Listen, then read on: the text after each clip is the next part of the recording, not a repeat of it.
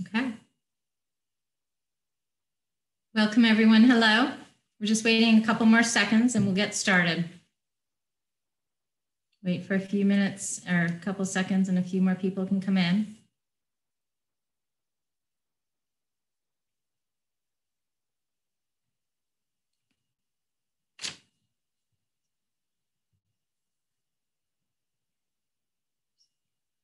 Okay, this is great.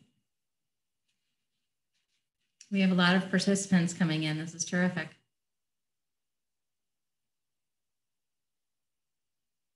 Okay, I'm going to go ahead and get started. Um, welcome, everyone, and thank you so much for joining us this evening to learn about wildlife in winter.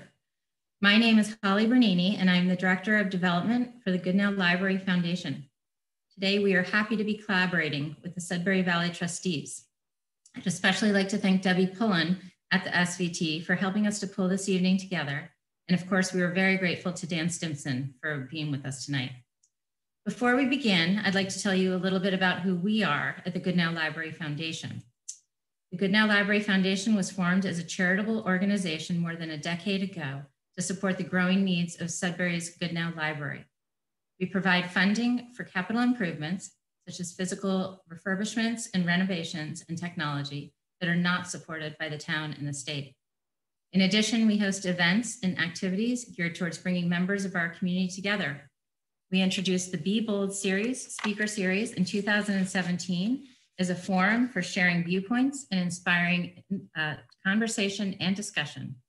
These evenings have focused on a range of topics from art and science to travel, parenting, and climate change. And tonight we are happy to bring you the presentation on wildlife in winter. Now, before we start also, just a few housekeeping items. First, we have folks joining us from all over. So please feel free to find the chat button at the bottom of where you're uh, uh, at the bottom of the page and enter where you are tuning in from and how you learned about our program tonight. Second, we are recording this event and barring any technical difficulties, we will post it on our website and we'll push out the notification when it is live. Third, everyone's camera is off, as you know, just the presenter video is being recorded and streamed and everyone is also muted.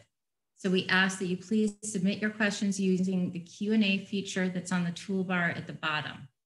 Our foundation's Kristen Schneider is with us this evening and she will be monitoring the Q&A.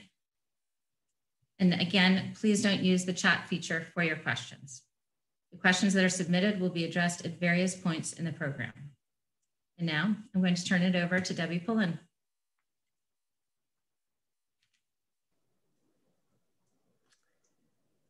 Hello, everyone. Thank you. Thank you, Holly. Um, so we are so thrilled to be with the Goodnow Library Foundation tonight. And thank you, Holly, for inviting us and for creating this collaboration with us. We're thrilled. Um, so when I saw the list of the folks registered, I saw a lot of familiar names through SVT and a lot of new names and other um, neighbors from Sudbury. So I wanted to give you a, a couple um, little points about what SVT is. So my name is Debbie Pullen and I'm on staff at Sudbury Valley Trustees and we're a nonprofit land conservation organization and we're based in Sudbury, but our work, and we were founded in the Sudbury Wayland area, but our work has through the years spread um, to a much larger area.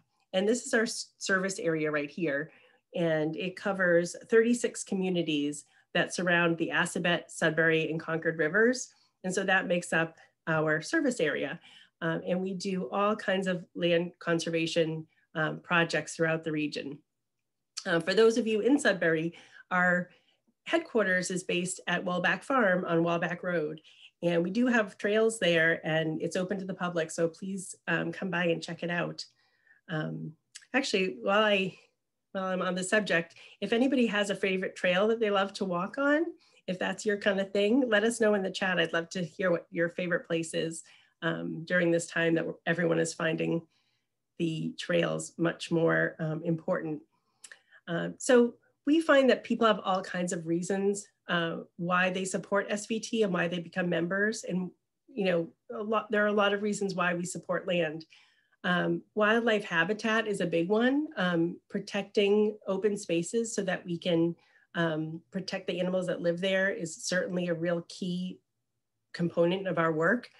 And recreation and trails and having fun and being healthy is another huge important uh, motivator for our work. We also lately, especially, have been doing a lot of work with local farms uh, and being able to help them protect farms so that they can provide local food to our communities.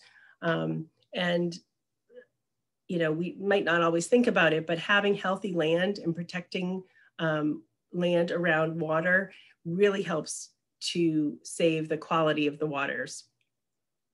Um, and ever since the pandemic really hit us in March, we're really finding how important nature is for people. Um, we've had so much amazing support um, of people who are discovering us for the first time or really realizing how much um, the ability to go for a walk in, in peaceful nature really does help keep their sanity um, and gives them some exercise and fresh air at a time that they're really feeling stuck at home um, and, and things are really stressful. Um, so we're really very grateful that this can be our, our small role in um, this pandemic time is that we're providing a really safe and healthy place for people to explore. Um, and the real problem that still faces us is um, development continues to devour our green spaces. Um, development hasn't really slowed down during the pandemic. And in fact, um, our land protection projects have really um, gone through the roof, to be honest. Uh, we have, I think it's a record number of projects underway right now. Um, uh, throughout the region. We have, I, I, think we're close to 16 current land protection projects that we're juggling. And in normal times and previously, it might have been two to three projects.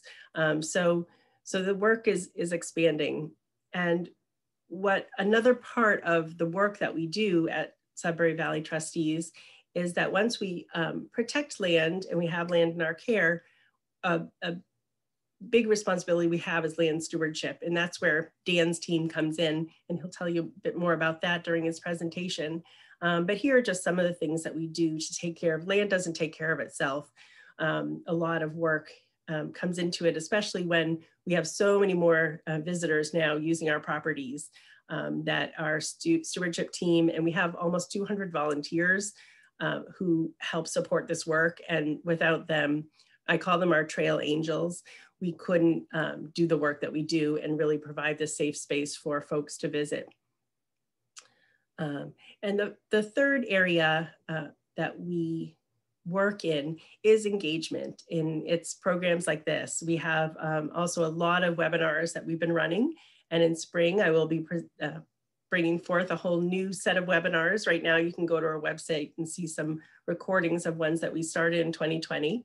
Um, and hopefully when we get back outside and can meet together again, uh, the photo on the right shows a whole bunch of folks um, doing a doing a birding uh, outing together. Um, so it's really important that we help connect our communities with nature. Um, and that's an important role that SVT plays in our community. Um, so now more than ever in these days when we are reminded that we need nature, uh, nature truly does need us. And I know we have a number of members who are on the call tonight. So thank you personally. Um, we really appreciate the support. And as I've said, we've really had even an outpouring of support um, since this whole um, change has happened. And uh, if you're not yet a member, but you love the outdoors and you love wildlife and this is your kind of thing, then I'd say we're your kind of organization. Um, so check out our website if you haven't already. It's svtweb.org and you can get trail maps and ideas for local places to walk, uh, we are selling our trail guide on there, which is um, actually that's an old photo, but our new our new uh, book is 42 Walks West of Boston. And if you become a new member, you'll actually get a free copy of the book. Um, and you can learn more about our habitat restoration projects, upcoming programming, um, all the stuff that we do in this, in this region. So um, thank you and enjoy. I'd like to now turn it over to Dan Stimson and to, by way of introduction, um, Dan is the Assistant Director of Stewardship for Sudbury Valley Trustees. He manages the trails, trail access and infrastructure for SVT's reservations and conservation restrictions, and he works with our volunteers to maintain more than 65 miles of our trails. Dan also manages our GIS, which um, prepares maps for properties and projects. And he also works with other staff and partners to incorporate GIS and mapping into their work. Um, Dan is an excellent colleague, a great photographer, and I love learning with Dan. So uh, I wanted to uh, thank you again to Holly and the team for inviting us tonight and um, turn it over to Dan for his presentation. Thank you. Thanks so much, Debbie, and thank you to Holly and the Goodnow Library Foundation as well for hosting us tonight. Um, so we are going to talk about wildlife in winter. And so just to give you a little bit of an overview about what exactly we'll talk about tonight. Um, so first, we're going to focus on birds and how they handle winter.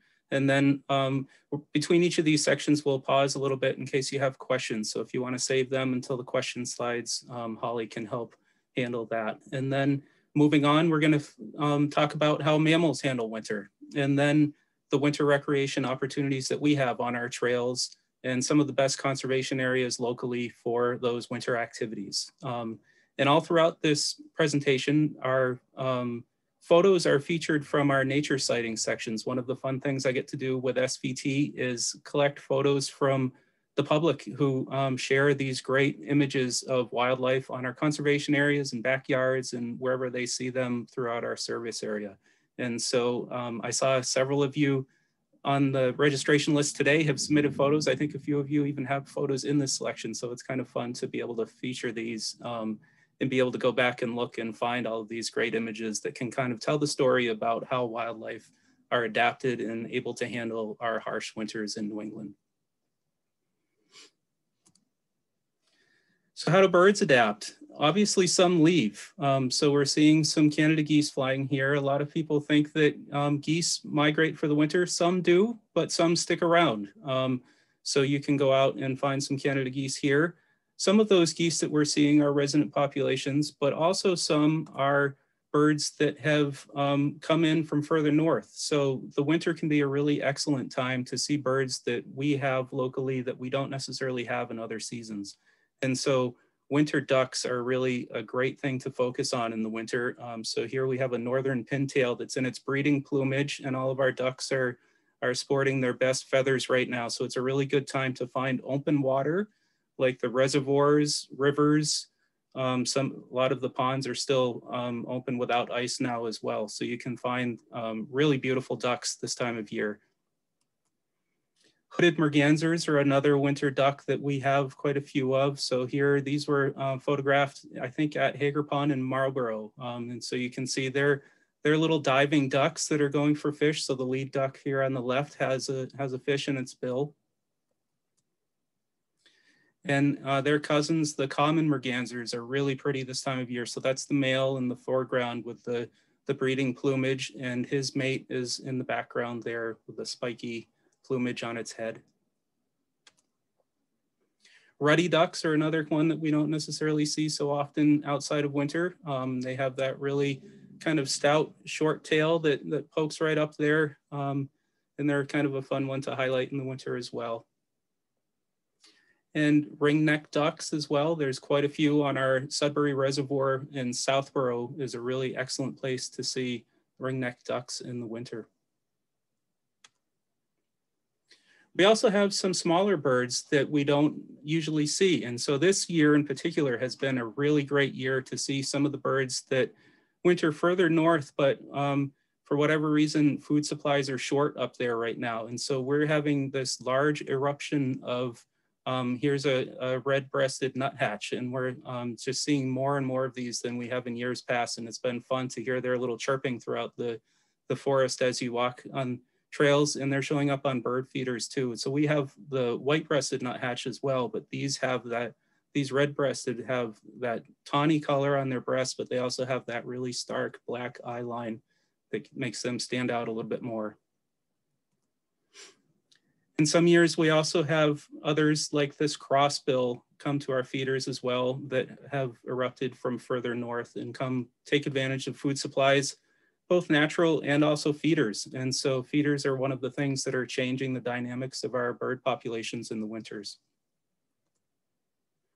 Here's a common redpoll, which is another more northern species that makes its way down here and sometimes as well. And these are being seen this year too. So migration is really costly. Um, the birds have to spend a lot of time flying instead of feeding. So it has to be worthwhile. So obviously if you're that little hummingbird on the bottom left, you're not gonna stand a chance here in the winter. So it's worthwhile for them. Um, but other birds like this northern cardinal can tough it out here. And so they've been adapted um, more recently actually. And we'll talk about some other species that are that are moving north as well to make it through these, these harsh winters. Um, that migration process is also um, makes them more susceptible to predation as they're flying into areas where they need to stop, fuel up, get a lot of food really quickly. They're really vulnerable to predators, hawks and, and other species as well. And in cases like this um, ruby-throated hummingbird here, a lot of them fly right over the Gulf of Mexico, which is an amazing feat if you think about the size of that little bird to fly over open sea like that um, is is quite something. So how do we know about populations of birds in the winter? And um, really, we've had this excellent Christmas bird count that began in 1900 nationwide. Locally, the Concord Christmas bird count has been conducted every year since 1960. And so we're seeing a map here that's um, the focus area of the Concord Christmas bird count. Our other towns in our service areas also have their local bird counts as well, where they've been tracking these winter counts for quite a few years as well. And so it's a day when birders really focus on going out and find as many birds that they can and they'll count them. And over the years, that gives us a good idea of what populations are doing, what birds are moving into our area for the winters and what birds aren't making it here.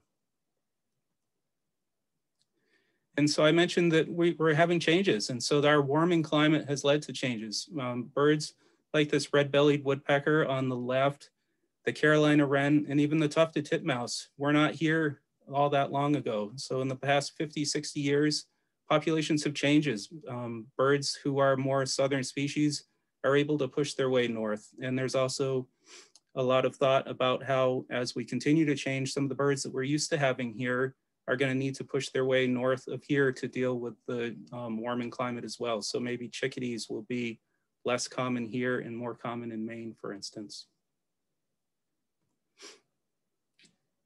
But we also have these great owls that are really active this time. Um, they're predators, obviously, so their their goal right now is finding mice and voles and um, getting ready to have a nest and raise young. So how is it the birds make it through our winters? Feathers is really one of the main adaptations that they have. So their downy under feathers keep them warm. It's great insulation. So a lot of birds have, um, as well as the, the downy feathers, a lot of their feathers are able to hold um, air between them really well to create that insulation. But they also have oil glands that they use to keep their feathers dry and to keep um, insulation by staying dry as well birds molt. So we talked about the ducks that have their breeding plumage in the winter, and that means that they've changed their feathers. And so a lot of species grow extra feathers for extra insulation in the winter. You might not think of eastern bluebirds as winter birds, but they really are one of our great winter residents. And a lot of people are surprised to see them. They're so they stand out so well against the snow and that bright blue and their their red breast really stands out. And they're here making a living in the winter so they're, they're a fun one to look for. We have winter berries in our backyard and they do acrobatics hanging upside down feeding on the winter berries throughout the winter. It's fun to watch. So other adaptations um, birds have a lot of behavioral adaptations to make it through the cold times. Um, a lot of species will cache food. So if you watch, if you have a bird feeder and you watch it really carefully, some birds will sit there and eat a seed by seed, but others will come and grab a seed and take it away. So Black-capped chickadees, for instance, are taking seeds and caching them in the little crevices in bark and trying to remember where they are and to eat those throughout the winter for leaner times. Birds also seek shelter. So um, the bird you're seeing, this barred owl on the right, is uh, roosting in a, a, cavity of an old standing tree that's probably might still be alive, but will be dead soon. So those standing dead trees are really excellent habitat for winter to provide those roosting um, opportunities for birds like owls. But gregarious species will also roost together for warmth and just um, to huddle together and, and make use of that body temperature. They'll also reduce their highly energetic activities. So activities all associated with mating take a lot of energy. And so if they can avoid doing those and push those off to spring, that's a really good adaptation. So they won't have to defend their territories by singing, by building and maintaining nests, by producing eggs and feeding chicks. And so that lets them focus on their, their individual health.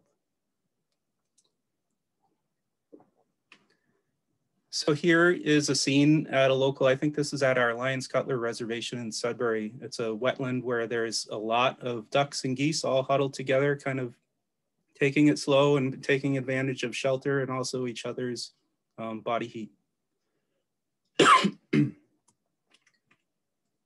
Red-tailed hawks are a really great bird to look for in the winter.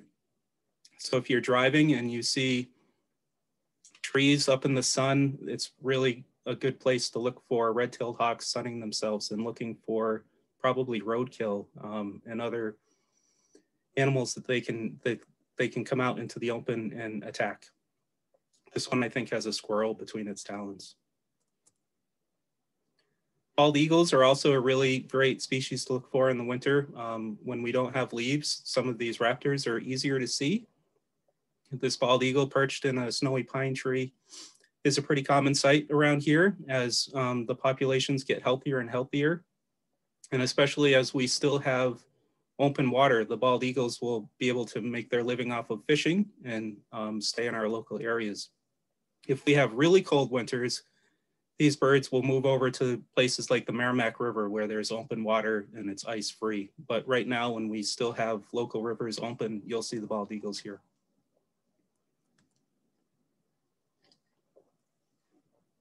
So birds also have a lot of physiological adaptations.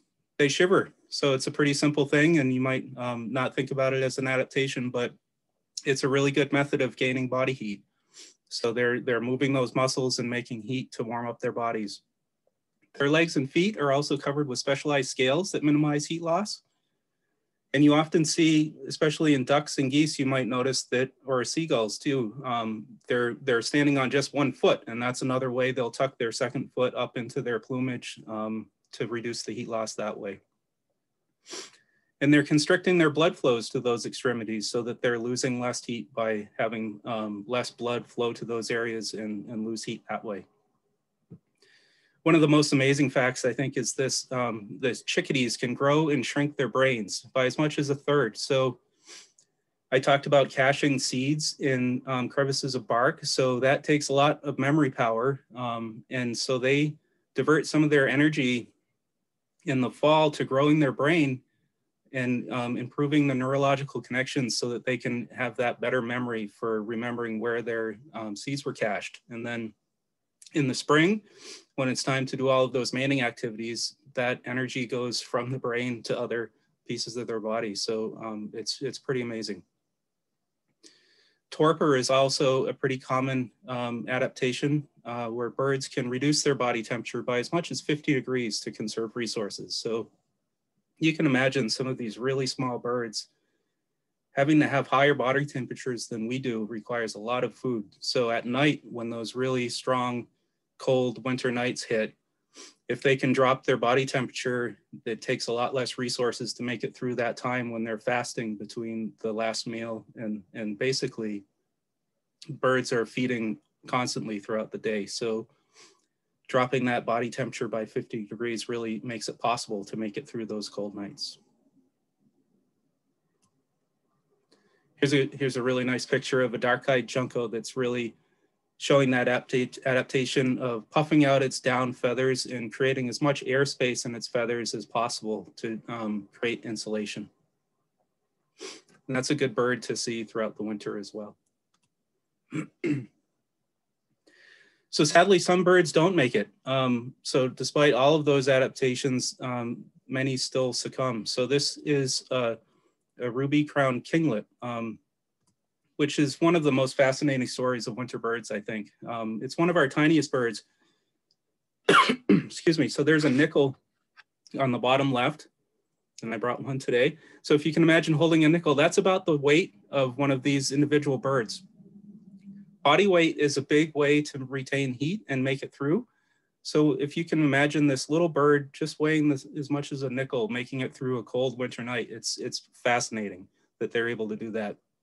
So they have to consume two to three times their own weight daily just to keep up that 110 degree body temperature to really make it possible to have those fast flight muscles really working.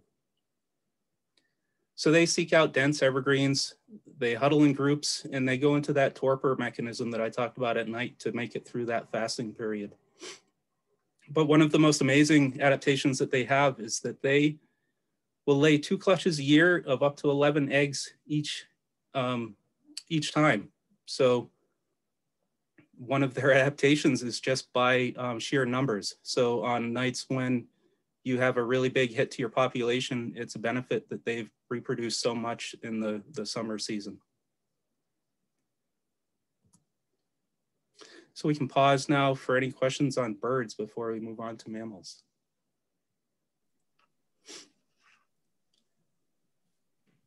Uh, so far, Dan, um, we don't have any questions. All right, great. We can keep moving. Okay, great.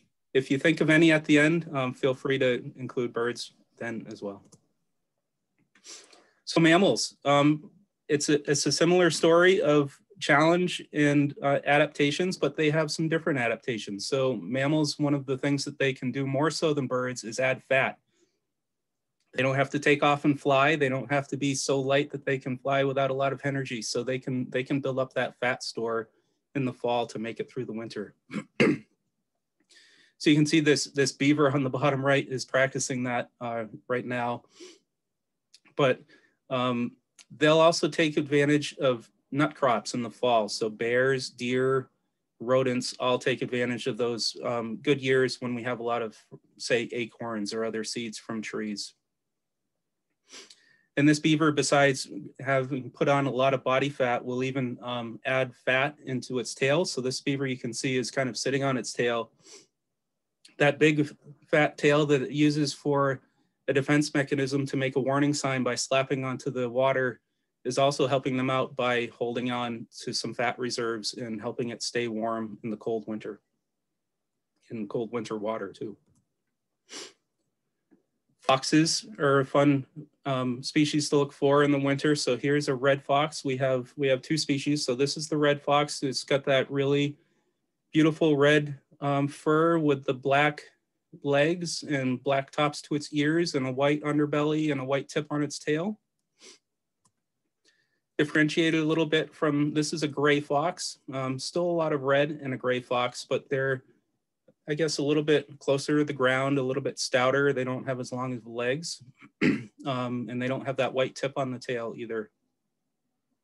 A fun fact about a gray fox is that they are the only dog species that can do a little bit of climbing trees, and they're here locally. Um, so that's pretty cool. So one of um, the way that mammals adapt is um, being really good at finding food. Um, so the winter is when predators can really shine. They can take advantage of weakened prey. And so here in the bottom right, you're seeing a coyote, another member of the dog family um, with a gray squirrel in its mouth. Deer and moose will physically adapt to a leaner diet in the winter. So throughout the growing season, they're eating a lot of leaves, but in the winter, they're having to survive on twigs and bark. And so um, their digestive um, system changes enough so that they can get enough of nutrients from those leaner foods. And like those chipmunks, I mean, sorry, like the, the chickadees, chipmunks, beavers, and others are caching food as well. Um, so they're collecting, in, in the case of chipmunks, they're probably filling up their cheeks with acorns and other nuts and bringing them down into a little den and caching those for eating throughout the winter. Beavers, you can see here, will cache food under their under the water outside their lodge. So they're collecting also beavers, similar to deer and moose in the summer, they'll be eating leaves and other vegetation greens. Um, but in the winter, they're really surviving entirely on inner bark. And so they will collect a lot of branches and jab the branches into the, the, the mud on the bottom of the pond and have it, an area that's deep enough so that it doesn't freeze to the bottom so that they can leave the entrance of their lodge and grab some of that food and bring it back and eat it in the dry spot. Beavers have a lot of amazing adaptations to make it through the winter. So um, one of the ones you can see here is the insulation that they'll have um, by building their lodge. And you can see, I think I can do my pointer, yeah. So they'll encase their lodge with hardened mud to make it waterproof and to help with the insulation. But they're smart enough that they leave this little chimney and so they don't encapsulate the top. And on really, really frigid mornings, you can actually see an active beaver lodge by seeing a little trail of um, beaver breath coming out of the top of a beaver lodge. So you can see kind of this little mist, misty wisp coming out of a beaver lodge. And so throughout the winter, they're um, in there with their kits and raising a family um, through the late winter months as well. So this is going to be a little bit of a scene. This is from a, nature sightings contributor who had a trail camera out. Um, so this is a, an old rotting log and you can see a little mouse there. And that mouse probably didn't have a very good day. So this is a, a fisher, one of our uh, predators. It's the largest of the weasel family that we have. Um, reaching into that log, um, trying to get at that mouse kind of looks like he's having a good time of it too.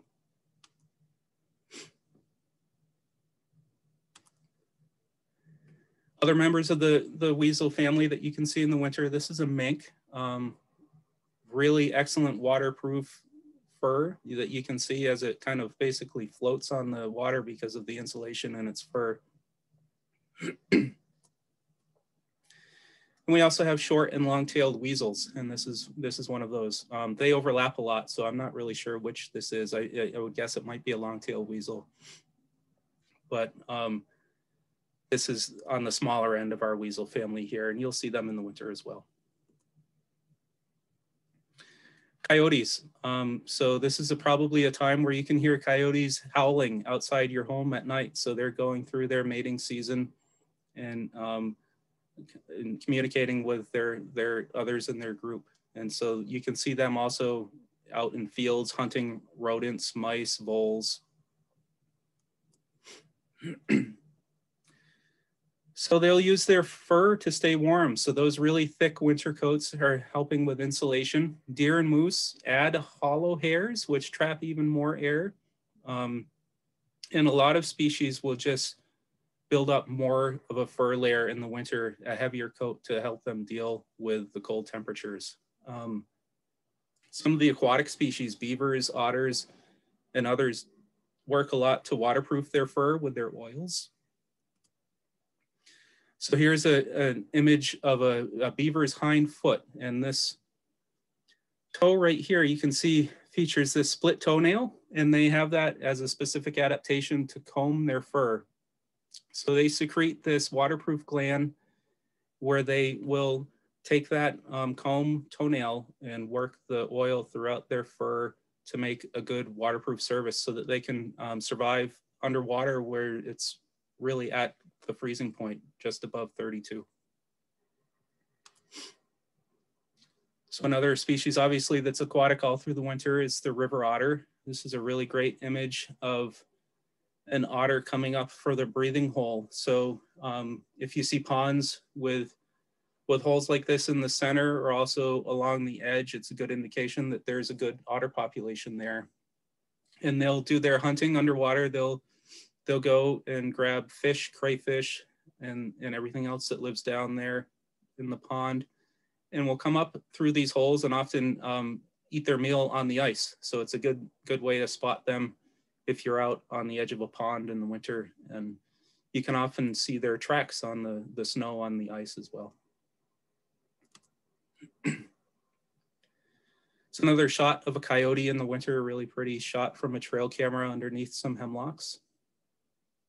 It's a good, good display of how variable the coloration on coyote coats are locally. So that one I showed you before had a lot of gray and blacks in it, and this one is, is all kind of that tawny brown. So another adaptation to um, survive in the really cold, lean times is just to simply conserve energy. And so deer will limit their travel and stay as close to their food sources and shelter as they can. Um, obviously, when we have those winters where there's three and more feet of snow, it's really difficult for a lot of animals to move around, especially these um, large bodied animal, animals when it gets up taller than their tails. And so times like that, they'll really stick to near their food and shelter locations. So some other species that you can look out for, and also um, we'll talk a little bit about tracking. Um, these are kind of fun to track because of those fingers you can see on the opossum. Um, and the opossum, and I think we've got a raccoon up next, are um, animals that you might see near your home. They kind of have adapted to take advantage of that interface where um, our backyards in the open space meet. So this opossum, I think, was hanging out under a bird feeder eating bird seed that, that fell to the ground. And that's an activity that raccoons will do a lot too. Um, and if you've ever been less than careful with um, keeping your bird seed safe, they'll they'll figure out a way to get into your bird seed too as a good food source.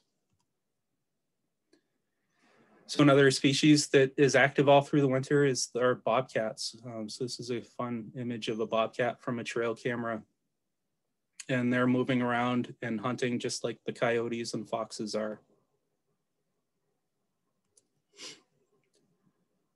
So hibernation and sleep is a big adaptation that a lot of animals will use. Um, so woodchucks are true hibernators. Uh, their heartbeat slows down and their temperature significantly lowers to conserve energy. It's very similar to that torpor adaptation, um, but they'll just go underground and um, go to sleep for the winter. Um, we have other species like bears and skunks that sleep, but they'll awaken and will come out in warm spells. So they're not true hibernators like the woodchucks are. Chipmunks are one of those. So um, this was captured on a sunny afternoon where uh, we still had a good snowpack, but the chipmunk was warm enough that it was coming out to um, grab up some acorns and other things. So even if they're not um, sleeping or hibernating, seeking shelter is obviously a really good adaptation for making it through cold nights. Um, small mammals will tunnel in the snow, so that snow layer, even though you can think of snow as being cold, is really an excellent insulator as well. So there can be a big difference to, um, you know, on those evenings and, and early mornings when it's down below zero, if we have a good pack of snow down near the ground can be sheltered closer to the freezing point. So it's a, a big difference in the amount of um, energy that it will have to go through the night. It also provides protection from predators. So that barred owl is um, out there at night looking for all of those little rodents. And if they're um, provided with that snowpack, they have a little bit better chance of surviving. Even though a lot of species like the barred owls and the foxes and the coyotes have good enough senses that they can actually um, seek out those, those little rodents under the snow, it's a much better chance for their survival. Larger mammals will also create dens or use thickets. So um, you can think of maybe a, a, thick thicket of mountain laurel is even enough for some of our bears to overwinter in. Um, and so they'll create those dens for extra shelter for a longer term survival. So this fisher is poking its head out after a snowstorm. I think it was from a, a hollow in a tree that was covered by snow as well. Here's a porcupine. Um, So we have, this is on one of our reservations where the porcupine's trail was coming out of its den. After every um, night, you could kind of see where it was going throughout the day for food. Um, so they're using those dens for shelter, but they're still active every day and night going out and getting food. So a lot of porcupines will be eating um, hemlock boughs especially and other uh, bark as well. And camouflage. Um, we have an example right here in Massachusetts of uh, both a prey and a hunter who uh, use camouflage in the winter. And so on the left, we have a snowshoe hare, um, not that common in our towns, but we have had sightings. Uh, Cedar Hill, we had a, a snowshoe hare. Um, on the left, you can see their, their summer fur, and on the right, you can see how they'll change as an adaptation to camouflage in with the snow. And the, the short-tailed weasel will do the same thing. So um, there you can see on the right, it's, it's winter fur pretty amazing. Pause again, just in case we have any questions from the first two sections. Hi, Dan. Um, we, we have a couple questions back to the bird segment, if you don't mind answering those. Great. Yeah, I'll try. Um, one, our first question is, what can we do to help these birds? So um, feeding birds is definitely something that makes a lot of makes it possible for a lot more birds to survive through the winter. Um, it's not a unanimous opinion of whether that's a good thing or a bad thing naturally, um, but it's certainly a common thing that um, people will do. And I, I would say that if you are thinking about feeding birds, definitely do it consistently. Don't start to feed birds and then cut them off or forget to fill it up. Um, is why they can probably go from neighbors back and forth. It's it's kind of they once you start, they're relying on that. Um, so that can be one thing. It's definitely um, that's that's more accepted for birds. Um, you definitely don't want to be feeding any of our mammals. It really changes their natural behavior and is a less healthy situation. Okay. Another question we have are, is um, do robins stay north during the winter? Yeah, so uh, some do, and and I I, I meant to mention, I don't think I did. Um, some of the birds that we have throughout the winter are migrators, and they're the same species, but it's not necessarily the same individual that was here in the summer. So the robin that we had in July might be further south, but we're seeing robins that summered in Maine or further north than that. Um, and we also will have individuals who will stay in and stick it out as well. Um, so it can be hard to tell on an individual basis, but we definitely always have robins throughout the winter now. Okay, another question we have is where locally have you seen golden crown kinglets? How recently? I, they're really difficult to see. Um, so they make a living by um, living up in the top of those evergreens. And so they're, they're really difficult to see. Uh, they're tiny and they are hidden. Um, I haven't seen one in quite a while. Um, we had some submissions. One of the fun things about our nature sightings page is you can go back years and years. So um, on the left side of the page, you can, you can click on a species and you'll see at least where the town are and often if people take a photo at a conservation area, they'll share the conservation area. So you could check that out too. We just had someone add that they saw some golden crown kinglets at Marble Hill and Stow last winter. Just awesome. Great. Another really good resource is eBird. Um, so you can go online on eBird, I think it's .org, and you can search by species and see sighting locations down to specific points on a map um, from birders. So that's a really good one to check too. Great. Um, another question we have is what shrub is best for birds to huddle in during the winter? So I guess you would you would want something um, with a lot of cover, right? So um, maybe you know some of the mountain laurels that that retain a lot of those leaves are good um, some of the the shrubs that also provide cover are excellent so we have um, greenbrier in some of our natural areas that are kind of a thorny um, tangle but that's really excellent shelter for birds to avoid, like a small songbird to avoid a Cooper's hawk or a sharp-shinned hawk. Um, and I think that most of the shrubs that you'll see on, in a backyard setting are more for that um, protection from predators rather than huddling for warmth. And I think that probably seek out better protection, you know, away from your yard in the forest and trees and, and larger branches for temperatures. Um, another question we have is which bird species go into torpor at night? Um, let's see. So the, I, I believe the black cap chickadee does. Um, I think that the kinglet may as well. Um, I'm not positive on others. Okay. And now we just have a couple questions um, about the mammals that we just discussed. Um, how do the chipmunks survive in the winter? And also, do chipmunks hibernate? They might have been answered in your presentation, but just thought I'd bring those up again. Yeah, so they'll cache food. So if you see chipmunks in late fall, they're really busy and they're um, filling up their cheeks. So they have these these fun pouches in their cheeks where they can put a bunch of um, seeds and nuts. So they're collecting those and bringing them into burrows underneath the ground where it's warm enough to survive. They're not true hibernators, um, so they're sheltering in there on colder days. And I've seen chipmunks this week where it's warm enough that they'll come out and, and do their thing and there's not snow cover. So they're really, for the most part, surviving off of stuff that they've built up. Um, but on on times like this, they can still go out there and find food as well. And um, oh, we got a couple more questions here. Um, any idea um, how the bobcat population is doing in these parts? Is it increasing, decreasing of late?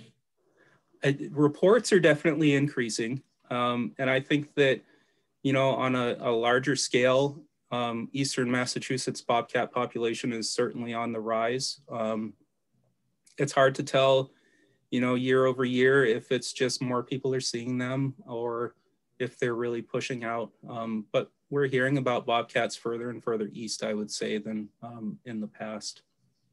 And a lot of our towns have had bobcats for years and years. Um, they're pretty seclusive animals, so you don't see them a lot, and they're they're pretty skittish for the most part as well. So um, they can be in the forest when you're hiking a trail and you might not notice them, but they're probably there.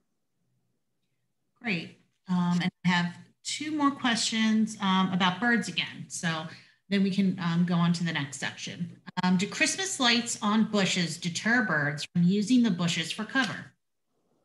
That's a good question. I haven't ever thought about that. Yeah, I'm not sure. I could see sure. if it if it lights it up in the night, I could see where that might be less than ideal. Right. and then the last question we have is um, I'm in Berlin, larger farm property. see many Carolina wrens all winter. Never have yeah. never have seen them here before.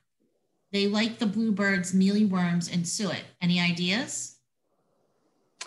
About um, they're definitely around and they they have been for for years. Um, locally things may change but there's certainly a species that have taken advantage of both feeding and especially a warming climate. So um, there was there was a lot of talk in what was it 2015 where we had those really heavy storms um, was pretty difficult for a lot of birds. And Carolina wrens was one of them in particular, where the population took a significant hit because they're kind of they're they're working their way north. They're a Carolina wren, so they haven't been here forever. Um, and so when we have those outlier conditions of either really really cold snaps or heavy snowfall, where it's hard to find um, food if you're a bird, it can do a lot of damage to a population and take a couple years for the population to work back up. Um, and so fluctuations like that are definitely possible throughout a lot of our species, but especially those that are kind of on the edge of their northern um, range. And it can be fun to look through the Christmas bird count stats. So the Concord Christmas bird count, as well as the, the full Audubon count, you can go through in previous years and look at stats and see how populations change throughout the years. So that can be kind of a fun thing to do. Okay, that wraps up the question and answer section for this. Great. All right. So we'll move on to, to the people part. Um, we're still going to kind of uh, filter in some animal pictures along the way, and I'll talk a little bit about that. But um, I wanted to talk about how you can get out, especially this year when there aren't a lot of other options. Um, we're seeing a lot of people getting out on our properties. And um, if we finally get some snow, it can make things a little bit more fun. So snowshoeing is a really excellent activity on our local trails. Um, you can snowshoe on fresh snow, but it's also kind of a good exercise and activity The snowshoe when a trail is packed in. Um, cross country skiing is another good one. So I especially like some of our larger properties for skiing um, and with wider trails and a little bit gentler slopes. And we'll talk about some of those as I kind of go through some of the properties that have these opportunities. But it's important to remember that um, it's really pretty much always good time to get out and hike. Um, so when there's not enough snow to go snowshoeing and there's not enough snow to do good skiing, you can just get out and use the trails. Um, and a really good tool to do that is uh, the footwear that helps you with slippery conditions. So this is, I think, a Yaktrax um, track um, that's a little spiraled piece of spring that goes that you can add to your boots to help you with your footing. Um, but just keep in mind that really that resource is always there and um, it's fun once you get out and you won't feel cold and you'll get moving and um, you can take advantage of the same trails that you enjoy in the summer. One of my favorite activities in the winter is to go um, tracking and really, you don't have to have a whole lot of experience to have fun. Um, you can still see a variety of tracks and um, tell the differences, even if you're not quite ready to identify individual animals from tracks. Um, but there's so many great resources, both in books and in local clubs um, for learning tracking. If you want to get into it, it's a really um, kind of a lifelong learning thing that you can do to really add a lot to your to your winter hikes. And so all of those animals that we've seen throughout this presentation and that we'll see later are leaving signs out there in the forest. And so why it can be, while it can be really difficult to see a bobcat or to see a gray fox, um, you can find their tracks. And so you can kind of read that story as you go on a hike without disturbing animals and without um, being upset that you didn't see something, you can still kind of see their presence in the woods. One of the kind of a, a good, free and easy to acquire place to start is this little pocket guide that Mass Wildlife puts out. So you can Google the Mass Wildlife Tracking Guide and print it out. And it has um, good information about the size and basic shape of individual um, tracks. I think as you learn a bit more, you'll want to see more like their gait and how how long and wide their gaits are to really um, identify things. But this is a really great way to start off, as well as a nice way to see some of the more common species that you'd expect to see tracks and signs out during a hike.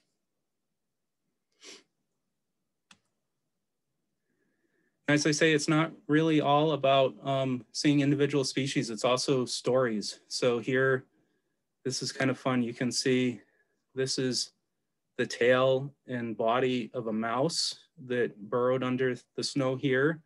And then we're seeing a wing flap here. So you can imagine maybe a hawk or an owl diving at this, this mouse and maybe was a close call or maybe it was a successful call for the bird. So our trails, um, as I said, there's so many opportunities to get outside and especially right now um, it's a really great thing to do. And so you can go onto our website. We have um, free to download trail maps of all of our properties. So i think there's like 45 properties up there with trail maps you can download a pdf from a map. We also have this interactive viewer where you can zoom in find a parking area near you or zoom way down to the level and see the actual trails. Um, and that's right on that trail map page with all of our brochures. So this is an example of, of going from our 36 town region down to Sudbury and then into a specific memorial forest. And you can click on this green dot and get directions to the, to the parking area. So Debbie mentioned that trail guide. Um, if you don't want to print out individual trail maps, you can also get this book with all of them together and directions to this to this pages and to the sites. but I wanted to go through some areas that are particularly good for snowy recreation. So um, not all of our properties are plowed out immediately. So some of the ones that I focused on here in this presentation have really good access short time after storms. So we we actually pay for a plow company to come out and um, clear the snow off of our parking area on Dutton Road in Sudbury for the Memorial Forest. but the the other uh, nice aspect of our Memorial Forest in the winter is it's got a really wide um, trail network that connects with town of Sudbury Conservation Land, City of Marlborough Conservation Land, Massachusetts um, Department of Conservation and Recreation, as well as the Assabet National Wildlife Refuge. And so you can really do, you could go for a long ski from Memorial Forest, but you can see there's also shorter options where you could choose um, snowshoeing or even just winter hiking is really beautiful at Memorial Forest. And so it's got um, a couple different ponds and three different streams that always look really beautiful in the winter. And um, there's enough difference in terrain, but also some good flat areas. So if the trails are slippery or if you want to go for a not too much of an endurance snowshoe, there's good opportunities here too. So um, several years ago, we did some habitat management work out here to improve the habitat of the pitch pine and scrub oak forest through Memorial Forest. And it has some of these open areas that are really pretty in the winter. Um, and so this is a good example of a snowshoe trail and a snowshoer out at the trails at Memorial Forest. and this is crossing over Hop Brook, which is um, fairly close to the entrance of Memorial Forest. Um, so there's also Trout Brook and Cranberry Brook and um, a lot of different opportunities to get close to water where um, wildlife is a little bit more common and active in the winter. And there's a lot of tracks usually along streams and ponds. So it can be a fun place to look for animal signs too. Another snowy trail scene of a snowshoe trail at Memorial Forest too, shortly after a snowstorm.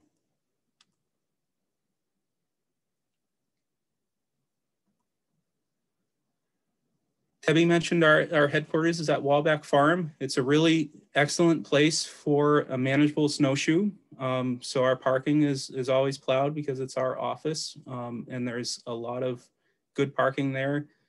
And it's a, a pretty manageable trail. It's like a three quarter mile loop um, and it's no severe hills. And so it can be a good family visit, especially if you have kids who wanna get out and try snowshoeing. It's a manageable distance. Um, and they're really pretty views. So we have our barn uh, across the road from the trails, and there are those open areas as well as um, shrubs around the the garden areas that we've uh, put there for wildlife use as well. Um, and the trails are wide and easy to walk for, so you can kind of walk next to each other. We have this uh, storybook trail with some newly installed um, stations from a local Boy Scout. Connor Goodwin put in these this winter. Um, and so you can go through, there are a dozen of these and read the story along the hike. And um, your child can, can start the book at the beginning of the hike. And by the time you finish that three quarter mile loop, you've finished the storybook. Upper Mill Brook in Wayland, um, we're lucky enough to have um, the Peace Lutheran Church is, is really kind to let us use their parking area when church is not in service. So um, access is really excellent there. It's off of um, Concord Road 126 in Wayland, um, right from the Peace Lutheran Church. And it's another one that has a lot of loop options and um, a lot of excellent water uh, sources. So there's Mill Brook that flows through both SVT's portion as well as the town of Wayland's portions of Upper Millbrook. And if you wanted to make a longer go of it, you can connect down to the lower Millbrook conservation areas as well. Um, but there's a lot of wildlife sign there. Owls are pretty common at Upper Millbrook, so it can be fun to to look for owls and owl pellets and um, go around the wetlands and see what there is for wildlife activity.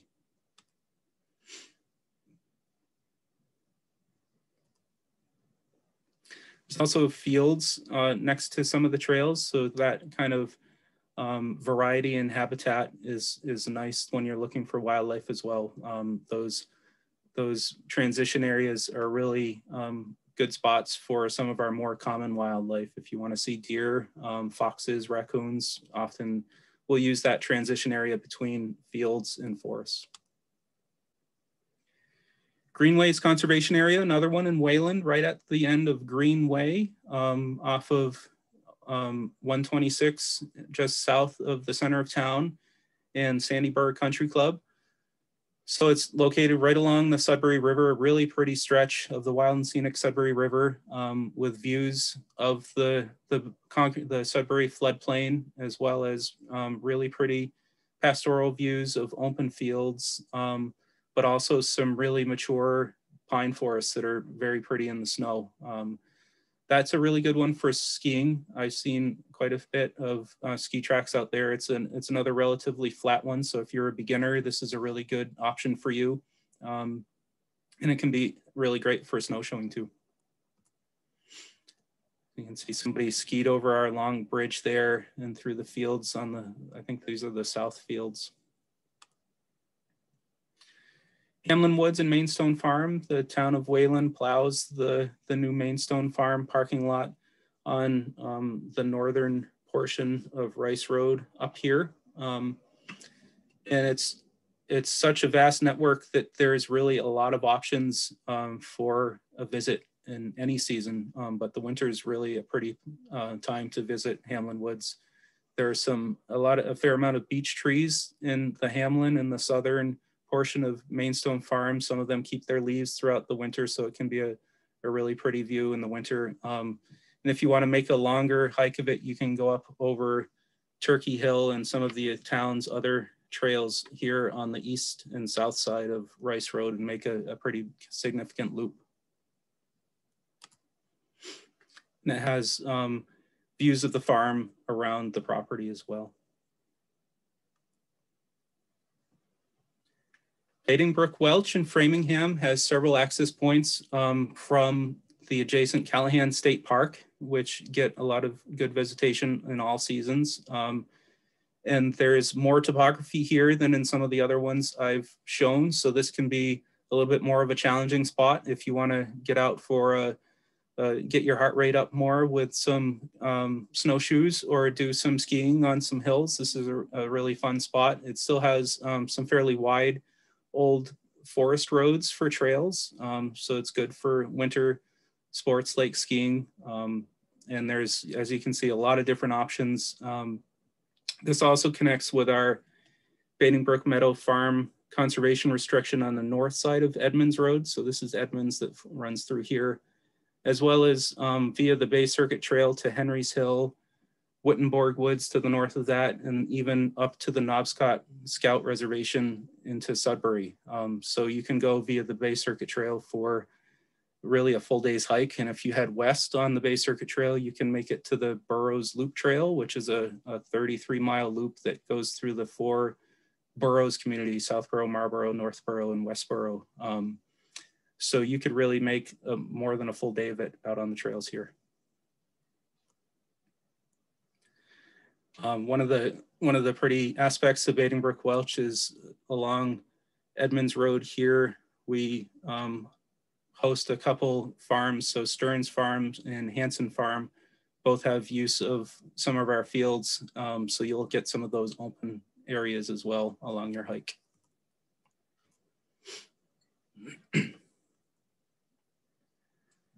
One of our newer properties, the Smith Conservation Land in Littleton, we have a neighbor who's been kind enough to plow out our lot for us. Um, so this is a really fun one in the winter as well. Um, the habitat here is really excellent and there's a lot of good tracking opportunities. Um, there's Black Pond along the Yellow Trail.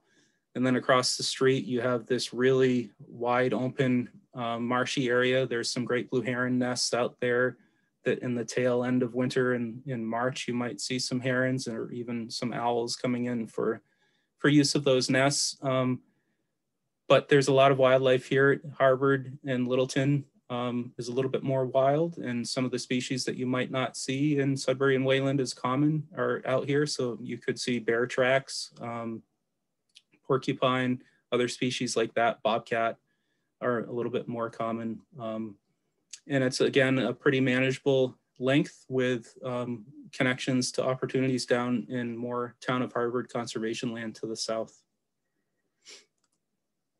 So this is a view of that cattail marsh and the great blue heron nests are out here. Um, a really pretty spot, especially as winter comes to an end and our red-winged blackbirds come and call. You'll see them out in this marsh. It's a really, really nice spot.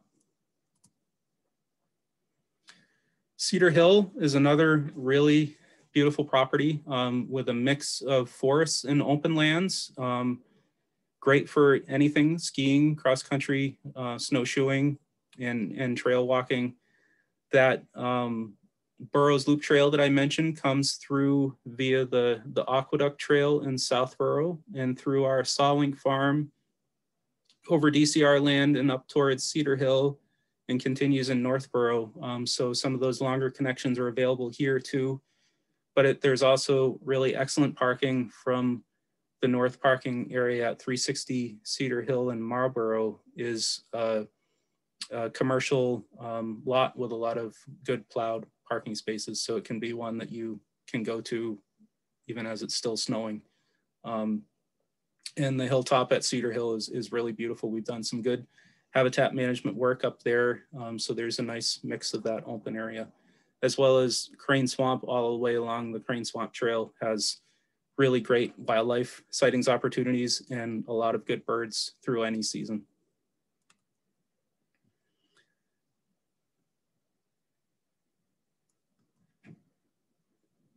So I hope you're still, I hope you're not feeling like this. Um, but if you are feeling a little bit draggled and ready for spring, um, stay strong because it's coming and it won't be long till the, the red-winged blackbirds are out calling. Um, and we see little um, blossoms coming up through the snow and skunk cabbage um, making little holes in the ice as well.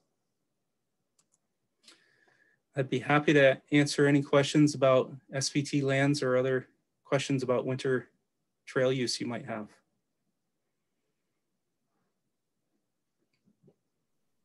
Okay, um, we have three questions. Um, one is, you spoke about birds and mammals. Are there any insects or reptiles that are seen in the winter?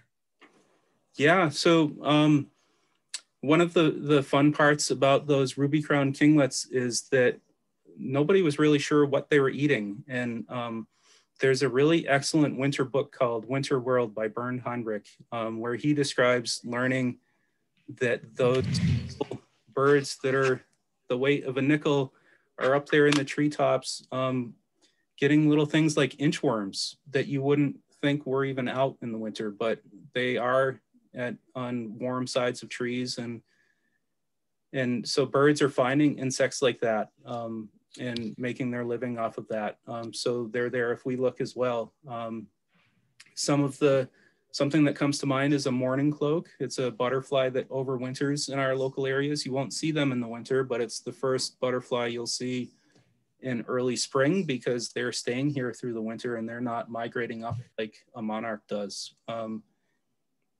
in other species, like we didn't talk about um, reptiles or amphibians, but um, they have some amazing adaptations as well. So our wood frogs are able to actually freeze. Their cells are adapted to um, be able to freeze and thaw out without damaging the cell walls and killing them. Um, so it, it's pretty fascinating about um, what all of our nature does to make it through different strategies to make it through the winter. Um, another bird question. Um, what are the best trails to see ducks? Anywhere with open water. Um, so um, there are, you know, honestly, a lot of the submissions we get for our ducks are more like roadsides. Um, so places like greenways along the Sudbury River, um, areas along Heard Pond would be really excellent for geese and ducks. Um, Steve Foreman, who takes pictures every day, is out at Hager Pond in Marlborough, which is right off of Route 20, as well as the Sudbury Reservoir in Southborough, um, which aren't kind of traditional trails, but anywhere you can find open water is really a good place to look for those waterfowl.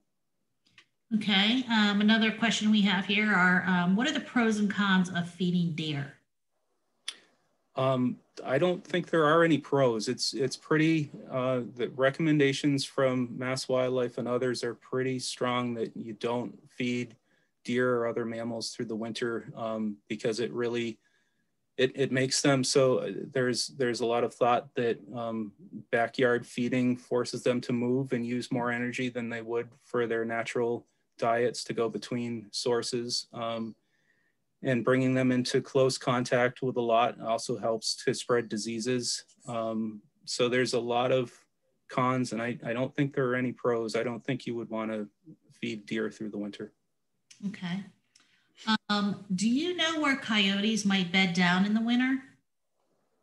So they'll they'll use dens um, and and other um, kind of dense thickets. So um, places under hemlocks, under um, mountain laurel, places that have, you know, good cover, but they also range around a lot. Um, but when it comes to raising their, their pups, they're gonna find um, more of a sheltering den um, under logs or rocks or any shelter like that, that, that they can find in the forest.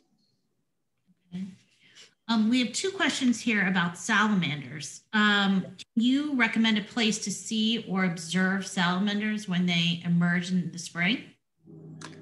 Vernal pools are great. Um, so we we tend to not promote publicly where they are to avoid having a lot of people go and and um, accidentally trampling for those those big nights. So salamanders will make their migration um, from the uplands into vernal pools on those first really cold, rainy, wet nights of the late winter, early spring. Um, but you can kind of follow your ears. And if you are really looking for vernal pools, you can hear um, wood frogs and spring peepers. And that's a good indication of, of where to find a vernal pool that you might have even in your backyard. Okay. And the other question is Is there a group of people who helped salamanders in the spring? If so, how do I get information about this? There's a, a vernal pool listserv. Um, I don't have the address off the top of my head, but it's a, a listserv online that is a lot of um, land managers and interested people and citizen scientists in vernal pools and vernal pool life. And that's often a really good place to meet other people who are interested in doing the same. Um, so you could look for the Massachusetts Vernal Pool listserv, and that would be a, a good place to start, I think. Okay, and the last question we have here is um, someone who is interested in seeing which animals are in their yard at night. Can you recommend an inexpensive trail camera for use in a residential backyard? Sure. With Wi-Fi that you can see on your computer or laptop. Yeah, yeah. That's actually so. I keep uh, uh, three or four um, Blink cameras, which are sold as security cameras, um, but I use them as trail cameras in the back of my yard. And so they're set up. They're they're little Wi-Fi devices about this big that are triggered by heat and motion, just like a trail camera would be, but they have to be within range of Wi-Fi. So um, I have them, you know, about 100 feet from my router and they're in the backyard and they take black and white video at night and will send a um, notification to your phone when something's out there. Um, so that's Blink, that's through Amazon, but there are a lot of other options that are um, basic competitors of um, all weather Wi-Fi security cameras that work great for wildlife too. Um, and so it, it, will save it to a cloud and you can download the images or videos um, to look at later. Okay, that uh, ends our question and answer segment. Um, Great. more? Well, thank you so much for having me. And um, I hope everybody is motivated to get out there and enjoy the winter on our local conservation areas and, and look for some wildlife. Thank you so much, Dan. This was really, it was such a great presentation. I learned, I learned a ton. We appreciate it. Um, again, to everybody, we will be, or we have recorded this and we will be posting it online once we have the link. Um, on behalf of the Goodnow Library Foundation and the Sudbury Valley trustees, I thank you so much all for attending and please stay warm and stay well this winter. Thank you so much. Thanks, Holly. Thank you.